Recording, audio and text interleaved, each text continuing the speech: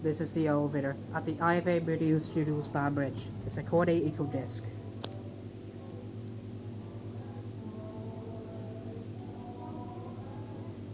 Here it is, but on went out.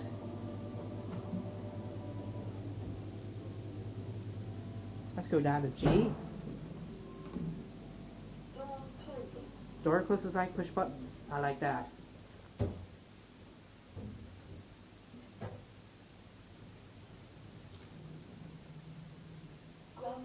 Here we are at G.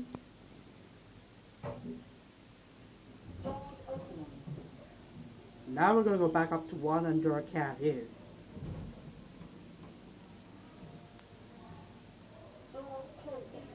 Door closes like push button. I like that, so you get a nice cat view. It's pretty basic on EcoDisc. So looking at it, you see how I got that floor indicator. The capacity uh, is 630 kilos, 8 persons, you made 2003. Here we are at 1, one I went out. You can see the Kone EcoDisc logo. And there's six of the elevator. And watch it close up. There it goes, and, and that's it.